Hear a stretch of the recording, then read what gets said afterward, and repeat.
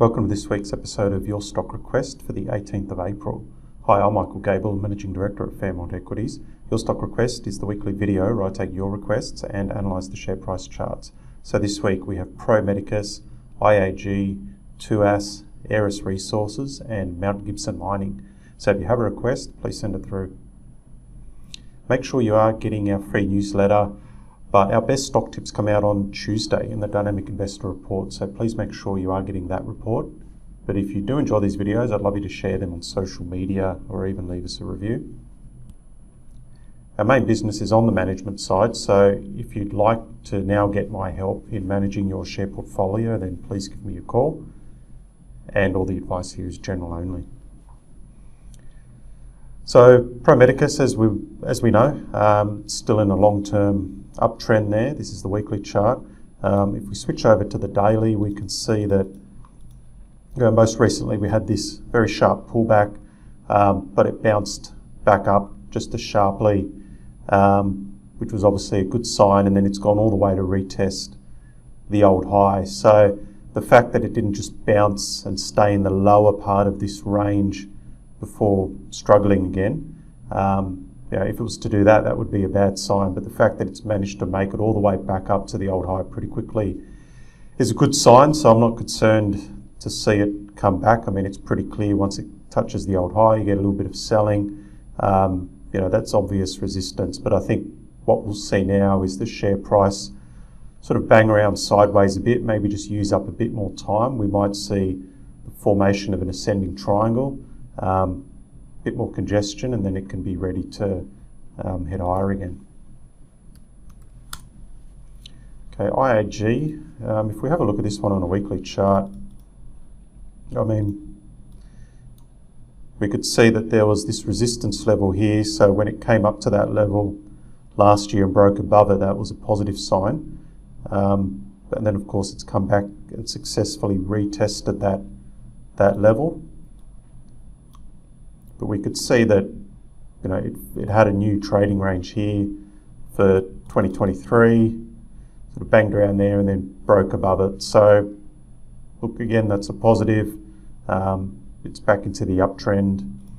Um, if we look over to, you know, there are some turning points potentially around this 650 level, so we might just get a little bit of um, resistance at, at 650, but uh, it is trending higher still.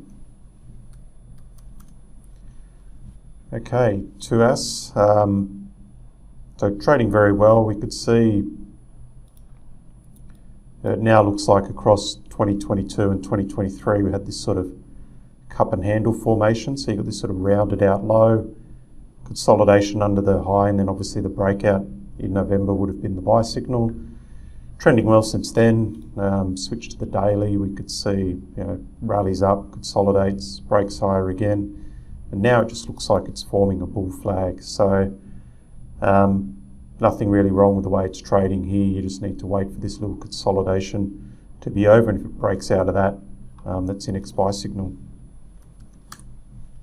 Okay, AIS. Um, quick look at the weekly chart. We could see it's it has been in a multi-year downtrend. Um, it seems to be, uh, at least in the short term, sort of reversing course and heading higher again um, on the daily chart. So we could see, you know, sort of big spike in volume as it sort of rallied here, and then it consolidated on lower volume.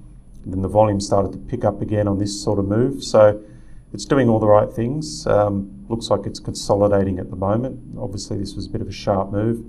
So I think that it looks like something you'd be you'd be holding. You know, you'd run your your, your tight trailing stop and um, at the moment, it just looks like it's consolidating and it could well um, continue on from there. All right, Mount Gibson. Um, if we switch to the weekly, sort of zoom out, sort of we could see that, you know, you've got this big peak here in 2019. So it's clearly a big underperformer compared to the other um, iron ore stocks, the majors. Um, it looks like we've got a situation where it's forming. Obviously, we've got these lower highs, but since 2021, it's been making higher lows. So we've got yeah, potential bouncing off support here. So it looks like one of those things where you, would hold it here with a tight stop, obviously under that line. Um, you'd expect to move back up towards the recent high, um, and then we just have to you know reassess from there. I mean, is it going to form another lower high and then head lower, or is it going to actually break and make a, a higher high and do something more interesting? Impossible to know, but you know, at the very least, if you're looking as a short-term trade, you know, hold it here, tight stop there, and you'd be looking to take profits there. Okay, well, that's all for this week. If you have a request, send it through, and we'll cover it next time.